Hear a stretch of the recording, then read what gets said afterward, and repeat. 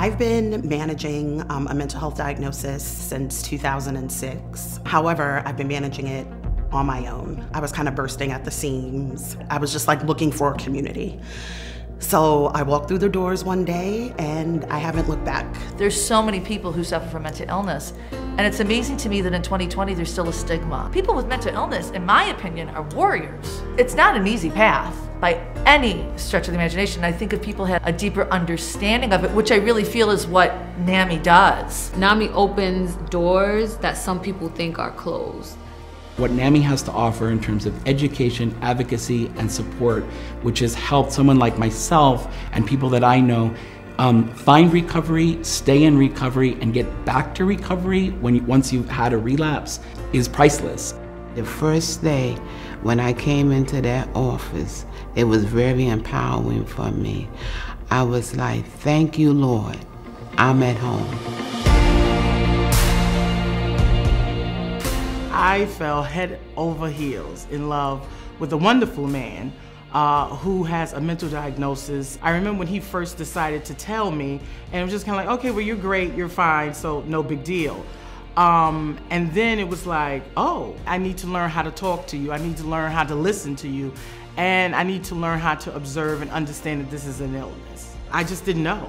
And having NAMI, now I know and I feel better. In the Latinx community, sometimes we don't talk about mental health. NAMI um, opened the door for me to engage with people in person and be able to have those type of conversations about anxiety, about depression, about the things that I never talk about in my house. In coming to NAMI, I started looking at my mental health diagnosis not as like a hindrance or like this scarlet letter because you do feel like that. I'm at a place where people understand me, they don't look at me strange, and they don't talk to me funny. I wish I had known about NAMI when I was going through it because a big part of my story was I was going to this psychiatrist and this therapist, and it was like nobody was really able to help. I came to NAMI, I feel like from a different perspective in that, oh my God, I made it. I, I, I want to give back. I'm a firm believer of helping others helps you. I love being a volunteer um, and a leader because everything's so peer-led. I'm getting something out of it at the same time that I'm noticing other people getting something out of it. And what we're offering